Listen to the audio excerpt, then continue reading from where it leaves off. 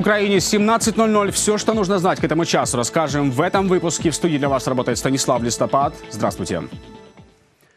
Руководитель РИА Новости Украина Кирилл Вышинский выполнял российский заказ на информационные акции в Крыму во время аннексии полуострова. Позже по поддержке псевдореспублик ЛНР и ДНР. Об этом сообщил заместитель главы службы безопасности Виктор Каноненко. По его словам, спецслужбы разрабатывали Вышинского как гражданина Украины, однако позже выяснилось, он имеет также российское гражданство и государственные награды от российского правительства, в частности с надписями «За возвращение Крыма». Антиукраинскую деятельность Вышинского спонсировали из Москвы. Деньги поступали в Сербию, а уже оттуда в Украину. Ежемесячная сумма составляла около 53 тысяч евро. 53 тисячі це на проведення цієї підривної діяльності. 53 тысячи – это на проведение подрывной деятельности. Это только доказанная сумма. По нашим оперативным данным, общая ежемесячная сумма составляет более сотни тысяч евро. Это та сумма, которая подтверждена следствием на сегодняшний день. Война на Донбассе инспирирована Россией, сказал спецпредставитель Госдепартамента США по вопросам Украины Курт Волкер во время поездки в зону проведения операции Объединенных сил.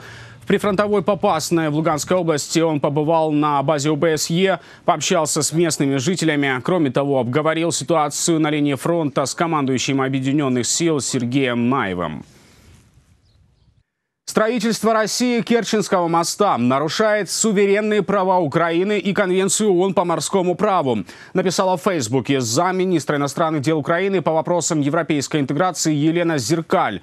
Она подчеркнула, возведение сооружения негативно повлияло на судоходство и рыболовство в этом районе. В сентябре 2016 года Украина подала иск против России в Международный суд ООН. В мае 2017 года прокуратура Автономной Республики Крым открыла уголовное производство из-за строительства моста в Керченском проливе. Убытки Украины от российского проекта оценивают как минимум в 385 миллионов долларов. Суд по делу крымского активиста Владимира Балуха о якобы избиении начальника следственного изолятора объявил перерыв до 16 мая. На заседании заслушали свидетелей стороны обвинения подчиненных якобы потерпевшего Ткаченко, который утверждает, что Балух его избил. Об этом в эксклюзивном комментарии телеканалу UATV сообщила адвокат обвиняемого Ольга Динзе. По ее словам, свидетели подтвердили свои показания о наличии конфликта между Балухом и Ткаченко. Защита украинца настаивает на предвзятости и неправдивости озвученных свидетельств. В ходе допроса нами усматривалось, что сотрудники явно находятся а, в зависимости от своего руководителя, а именно потерпевшего Ткаченко. Поэтому добиться от них каких-то действительно правдивых показаний ну, не представлялось возможным. Крымский фермер Владимир Балух незаконно осужден оккупационными властями за якобы хранение боеприпасов к трем с половиной годам колонии поселения. Новое дело против Балуха возбуждено из-за заявления начальника изолятора временного содержания в поселке Раздольное Валерия Ткаченко. Он утверждает, что Балух его избил. Защита активиста утверждает, что дело сфабриковано. Админ границы Украины с аннексированным Крымом под усиленным контролем. В Херсонской области начала работу патрульная полиция Автономной Республики Крым и Севастополя. 65 правоохранителей несут службу на блокпостах в Геническом, Калачакском и Чаплинском районах. Полицейские будут круглосуточно патрулировать пограничную зону и обеспечивать безопасность дорожного движения на трассах, соединяющих материк с временно оккупированным полуостровом. Відкриття відділу патрульной полиции. Открытие отделения патрульной полиции в Автономной Республике Крым и в городе Севастополе – это только первый шаг. Я верю в то, что скоро придет время, когда патрульная полиция будет патрулировать весь полуостров, нашу землю. В першу чергу це функции патрульной полиции. В первую очередь это функции патрульной полиции. Это обеспечение безопасности людей, обеспечение безопасности дорожного движения на приграничной территории. Реформа сельской медицины в Украине. Инновационный фельдшерско-акушерский пункт открыт в селе Баденьки в Киевской области. Теперь фельдшер может проводить осмотр пациентов с помощью современной аппаратуры. Работать эта система будет по принципу телемедицины, медицины на расстоянии. Результаты исследований сельский фельдшер сможет отправить в районную или городскую больницу врачам-специалистам. Они поставят диагноз и назначат соответствующее лечение.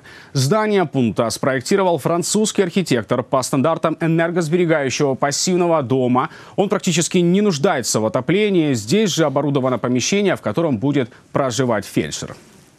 першими, де починає где начинает реализовываться программа «Сельская медицина». Хочу поблагодарить наших французских коллег. Мы эффективно сотрудничаем. Программное обеспечение для телемедицины к нам прибудет из Канады. Мы используем немецкий опыт, чтобы не повторять ошибок. Хорватия прислала нам специалистов, которые помогут во внедрении этой системы. Мене туди пригласили, я там зробили мені кардіо. Меня туда пригласили в кабинет, осмотрели, сделали кардиограмму сердца. Там все по-современному, вся аппаратура такая, что не в каждой больнице в райцентре есть. Дай бог, конечно, чтобы люди были здоровы, но если кто-то в селе заболеет, теперь все есть. Помощь будет оказана быстро и качественно. Уголовное производство из-за ненадлежащей организации поездки детской футбольной команды в Беларусь открыла прокуратура Сумской области. Сообщила в эксклюзивном интервью нашему телеканалу спикер ведомства Наталья Науменко. В воскресенье микроавтобус с ребятами юношеской футбольной команды, возвращаясь в Украину, попал в ДТП в Беларуси. В результате один ребенок погиб, шестеро госпитализированы в Брестскую областную больницу, четверо детей в реанимации, двое из них в тяжелом состоянии. За результатом зібраних доказів буде надано правову По результатам собранных доказательств будет дана правовая оценка организаторам поездки сопровождающим лицам. В случае доказательства вины им грозит лишение свободы на срок от 3 до 5 лет. Также могут запретить заниматься определенной деятельностью на срок до 3 лет.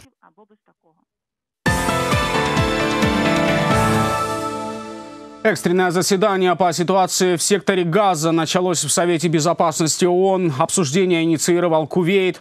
Накануне, в день открытия американского посольства в Иерусалиме, на границе сектора Газа с Израилем начались столкновения палестинцев с израильскими полицейскими и военнослужащими. Демонстранты жгли шины и забрасывали правоохранителей камнями. Те в ответ открыли огонь по протестующим и забросали их гранатами со слезоточивым газом. Погибли 59 палестинцев, более 2700 ранены. ООН и ЕС осудили Израиль за применение оружия.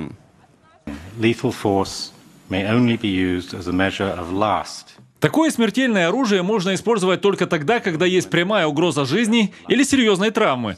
Попытка подойти к ограждению или пересечь его не представляет угрозы для жизни и не является основанием для использования огнестрельного оружия. Мы снова призываем к независимому прозрачному расследованию всех смертей и ранений с 30 марта. 200-километровые пробки на скоростной магистрали неподалеку от города Леверкузен в Германии создали пять азиатских буйволов. Животные сбежали с пастбища и вышли на шоссе. Дорогу перекрыли на 8 часов. Полиция попросила водителей грузовиков помочь окружить животных и вызвала специалистов Кельнского зоопарка, вооруженных специальными шприцами со снотворным. Сонных буйволов вернули местному фермеру. И уникальные венецианские гондолы в стиле барокко спустили на воду в Чехии. Они проплыли по реке Влтаве в Праге. Их впервые привезли в- из Венеции в чешскую столицу. Там проходит ежегодный речной фестиваль «Навалис» в Венеции. Эти гондолы хранят в музее и не спускают на воду. На вывоз лодок из города потребовалось специальное разрешение мэрии. Организаторы фестиваля застраховали гондолы на полтора миллиона долларов. Фестиваль «Навалис» посвящен памяти чешского свят- э, святого Яна э, Непомуцкого. Его считают покровителем Венеции. Гондола только один вид венецианской лодки. Здесь есть еще карлина или сандола. Самые украшенные венецианские боевые катера с барочными статуями под названием «Бессоны». Эти лодки никогда раньше не покидали Венецию. К этому часу пока что все. Эту и другую актуальную информацию онлайн вы найдете на наших страницах в соцсетях, а также на сайте канала uatv.ua. Следующий выпуск через два часа. Не пропустите и оставайтесь с нами. Будьте в курсе.